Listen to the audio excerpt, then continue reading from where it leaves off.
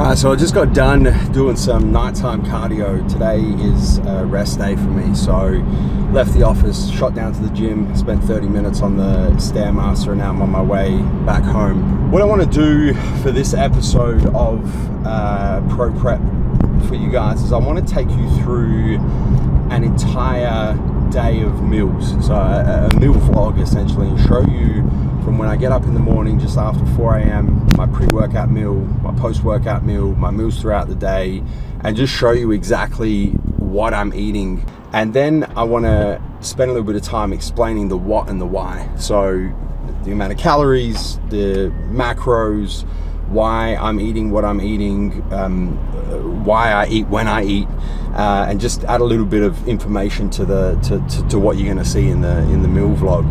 And it's going to be a little different because I'm doing things with my diet differently than than what I've done in preps in the past. There's uh, there's a little bit more flexibility in my diet. Um, and I guess that's kind of a benefit of, of starting this prep much leaner. You know, starting this prep with, with, with nowhere near as much body fat as I usually need to lose. Uh, so there's, it's going to be quite unique. It's going to be some, some things that you guys haven't seen before in any of my pre-contest series. So I'm going to head home, get some rest tonight, and I will catch you guys bright and early tomorrow morning.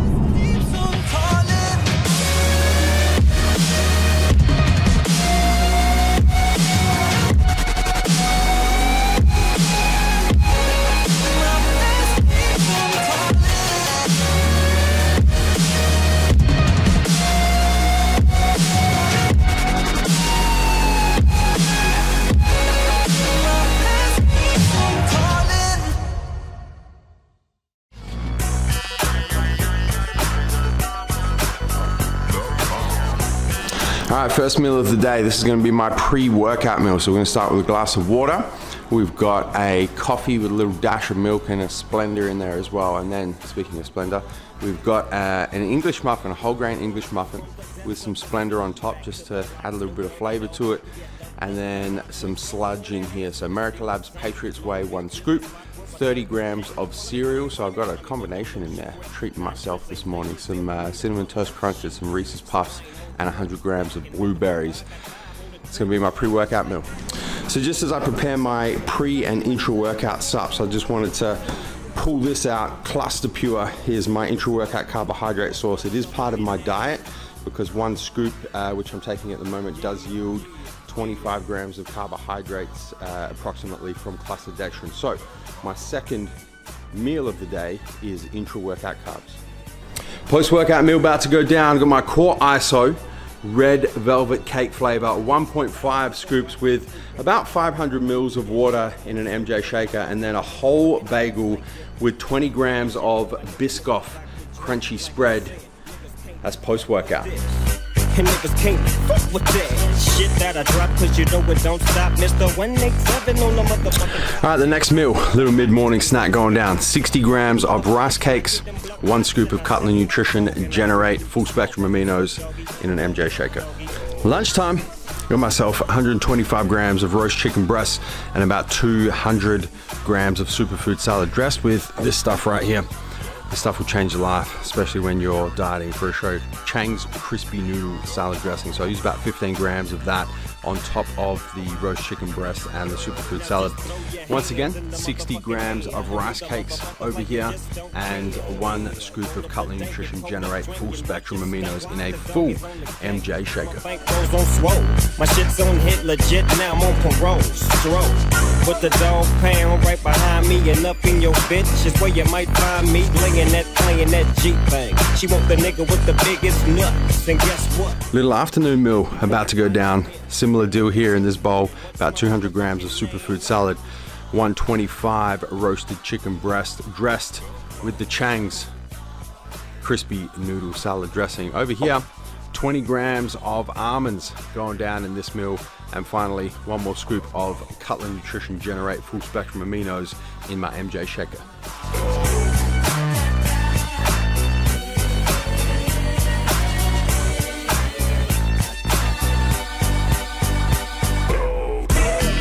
Dinner is served. Got a little homemade stir fry over here, about 150 grams of fillet steak, 200 grams of noodles, and some assorted vegetables in there, some green veg and some mushrooms, and throwing this one down with a Pepsi Max.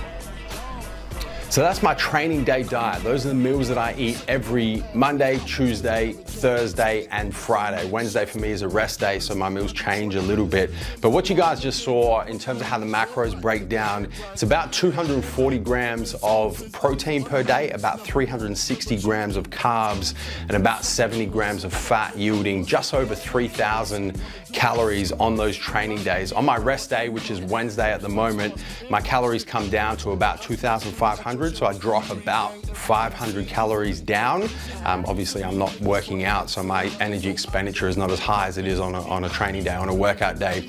And those 500 calories come from a combination of carbs and fats. So the carbs and fats come down, the protein stays the same each and every day. This is kind of interesting. So what I've been doing this prep thus far is on weekends. So on Saturday and Sunday, I won't eat pretty much any of those meals that, that I've just shown you in, in my typical weekday training day meal vlog. What I'll do is I'll have my macro goals and I'll be completely flexible with my diet. So, so long as I hit my 240 grams of protein, my 360 grams of carbs, and uh, my 70 grams of fats on Saturday and Sunday, which for me are both training days.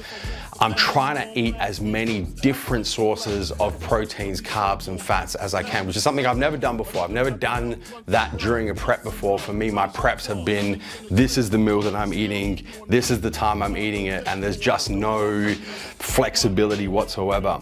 And I think the reason why I've incorporated this uh, this this mindset around my weekends at the moment, guys, is kind of twofold. The first one is it's allowing me to incorporate a lot of different foods in my diet, which is ultimately beneficial for my gut health. So one of the things that I've found in preps in the past is I will actually develop intolerances to foods that I'm eating day in, day out. So my last prep, I got to a point where I couldn't eat sweet potato because it would upset my stomach because I was eating so much of it. I got to a point where I had to swap my rice cakes out because rice was upsetting my stomach. I just, I was eating so much of the same foods and I had such lack of variety in my diet that I was starting to develop these food intolerances, uh, you know, which is a pretty good sign that what's happening in my gastrointestinal tract, what's happening in my gut is, is, is not ideal. So that's why I've chosen to incorporate really what is a form of flexible dieting on the weekends on Saturday and Sunday during this prep. The other side of it is my goal for this prep is no free meals. No cheat meals, no free meals, refeeds as I progress along, yes, definitely, but so far as you know, the, the old, you know, having a, a Saturday night to eat whatever, whatever I want or a, a, Sunday to eat whatever I want or, you know, those sorts of, of cheap meals or cheap periods or free meals, whatever you want to call them. I've just found in preps in the past that you know, they were great as a psychological break, but they just set me back you know, a few days that, that following week. So I'd lose three days of progress because my body was trying to figure out what to do with this mass surge of calories and mass surge of macros. So I really wanted to figure out a way to eliminate that during this prep, during this, uh, this dieting phase. And so I figured that, you know, allowing myself to have the flexibility on the weekends gives me that psychological relief without having to deal with the physical kickbacks of, of having free meals and having cheat meals. But listen guys, don't get it twisted. This doesn't mean that on weekends I'm doing if it fits your macros type shit and eating Pop-Tarts and chocolate and, and all that crazy stuff. I'm still eating primarily whole foods and I'm making sure that I'm consuming calories every three hours or so, getting my carbohydrates pre-workout, intra-workout, post-workout. So it's still incredibly strict within the framework of the amount of calories I'm trying to consume and the amount of macros I'm trying to consume and when I'm trying to consume them. It just allows me the flexibility to eat different sources of protein, whole food sources of carbohydrates, whole food sources of fats that I wouldn't necessarily eat Monday, Tuesday, Wednesday, Thursday, Friday because during the week I don't want to have to think about my meals. I don't want to have to think about what I'm eating. I just want to focus on my work, my training, my cardio, getting stuff done, and having my meals right there. I don't have to think about them. I just go and consume them. So refeeds. So I'm not having refeeds at the moment. My caloric intake, my macronutrient intake is consistent day in, day out. I will incorporate refeeds when I get to a point where my caloric intake is so low that I really notice my physique start to flatten out. You know, I'm, I'm, not getting the sort of pumps that I usually get when I'm training.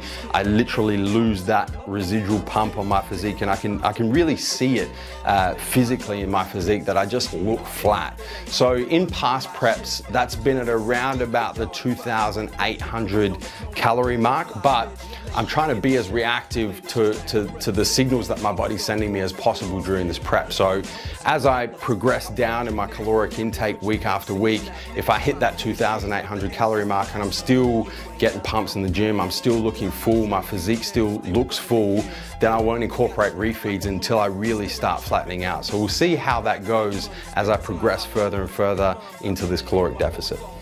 So when it comes to your mindset, when you're dieting for a show, when you're in a caloric deficit trying to lose body fat, when you're trying to cut weight for whatever reason, there's a couple of things that you need to be aware of. There's a couple of things that you need to go into a period of, of dieting, a period of caloric deficit with your eyes wide open. The first thing is hunger. Yeah, there's no way around it. You know, I think people, you know, think that they can kind of beat hunger, that they can trick hunger, that you know they're not going to feel hungry when they're when they're in a caloric deficit.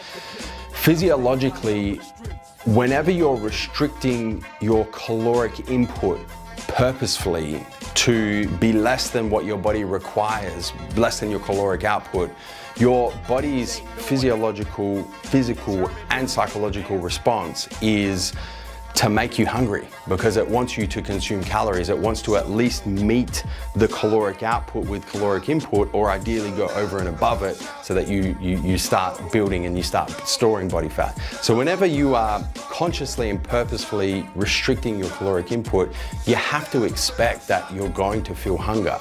And it's not a bad thing. It actually means that you are in caloric deficit. It means that you are putting your body in a physiological state where you can actually reduce body fat. So whenever I'm dieting for a, a, contest, dieting for a show, I'm in a caloric deficit and I experience hunger, my mindset around the hunger is not to necessarily try and fight it, but to embrace that hunger and understand that that is my body's way of showing me that yes, I am in caloric deficit. Yes, I am doing the right things to put my body in a state where I, am giving it the best chance to, to reduce body fat. So I think having that mindset going into any sort of diet is really, really important. And once you've adopted that mindset, of course, there are things that you can do to kind of take the edge off hungry. Nobody enjoys being hungry, guys, right? We're, we're, as humans, we're wired to, to, to eat food and feel full, right? That's, that's what we're designed to do. Nobody enjoys the feeling of hunger as much as you embrace it as a sign that you're heading in the right direction. So there are a few hacks, tips and tricks that I use to, to kind of take the edge off hunger. The first one for me is sugar-free gum. Uh, I'm always chewing sugar-free gum and as I get deeper and deeper into a prep and deeper and deeper into caloric deficit and closer to the show, my sugar-free gum consumption during the day uh, tends to increase and increase. Uh, obviously you're not swallowing the gum, right? You're chewing the gum, you're spitting it out. But for me, that really kind of works as a way just to take the edge off the hunger. The second thing is I'll, I'll consciously increase my water intake during the day. Uh, I just feel that when I'm consuming more water, it's something that sits in my stomach, kind of tricks my body, I guess, into, into taking the edge off that hunger and, you know, feeling full for that few minutes in there when, when my stomach is full of water, so I'll increase my water intake. Uh, another thing that I'll do is make sure that I'm maintaining my fiber intake, which is super important when it comes to feeling as full as you can when you're in a caloric deficit. For, so for my rule of thumb, I like to make sure that about 10% of my total carbohydrate intake is, is fiber. So at the moment I'm at 360 grams of carbs per day. So I wanna make sure that I'm getting at least 35, 36, ideally 40 grams of fiber per day. And then finally, and you guys will see this as we progress through this series and I show you more and more of my meals as I get deeper and deeper into, into this deficit, is I'll switch to more voluminous foods. So a great example at the moment is my post-workout meal right now is one and a half scoops of core iso isolate protein powder and uh, a whole bagel with some Biscoff spread on it. So I'm getting primarily proteins and carbs and a little bit of fat from that. But it's not very voluminous, it's very dense. So when I get to a point where the hunger is very intense, I'll swap that protein out, for example, for egg whites, because I can consume you know, a whole bowl of egg whites to get me the same amount of protein as 300 mils of water with one and a half scoops of core iso in there. And then my carbohydrates will swap from that bagel, which is very dense, to effectively a whole bowl of rice to get me the same amount of carbohydrates as that bagel with the Biscoff spread on there. And I'll use these little tweaks to, to most of my meals where I can move to more voluminous food, where I can get the same amount of calories, the same amount of macros as more dense food, eating more voluminous food is just more volume in my stomach and makes me feel quote unquote fuller or as full as I possibly can for, for as long as I can as I get deeper into this uh, deficit. Mood. This is something that not a lot of people talk about when they're dieting, but everybody experiences it. And a lot of people around people who are dieting experience mood as well. I think it's important to understand that we're wired psychologically to derive pleasure from eating and in particular deriving pleasure from feeling full right? There's brain chemicals that are released when we're consuming food when we get to that state of feeling full that effectively make us feel really really good right? It's, it's we, we derive this pleasure from from consuming food. When you're in a diet when you're in a deficit and you're trying to lose body fat you really are unable to derive that same pleasure because you, you never really feel full. Uh, you know, you're not consuming the amount of calories that, that your body wants you to consume each and every day. You're purposely restricting your caloric input. So it's really important to, to not just be aware of that, but to replace that th those chemicals being released and the pleasure that your body derives from those chemicals being released from other things in your life. So, you know, it might be playing a musical instrument, it might be going for uh, outdoor walks, it might be meditating, it might be reading, it might be playing computer games, it might be, you know, wh whatever floats your boat, whatever you're able to derive pleasure from that isn't related to consuming food and feeling full, as you progress throughout a diet, as you get deeper and deeper into a deficit, it's really important to make a conscious effort to, to do those things. Because if you don't, your mood is going to be affected because you're not getting this chemical response in your brain that's making you happy and making you blissful and making you feel joy. It's just, it's not going to happen when you're in deficit. And I think the reason why a lot of people, as they progress through a diet, they get really moody and they get really uh, quite irritable and just a not a very nice person to be around is because they don't have anything to replace the pleasure that they would usually be experiencing from consuming food and, and feeling full. So I know that there's always a lot of questions when it comes to, to diet, macros, calories, timing of food, uh, mindset around dieting. So guys, I encourage you to ask as many of those questions down below in the comments as possible. I will personally reply to each and every one of them and help you guys out as much as I possibly can with any questions that you have around dieting for a competition, dieting for fat loss, dieting to cut weight, or just generally being in a caloric deficit.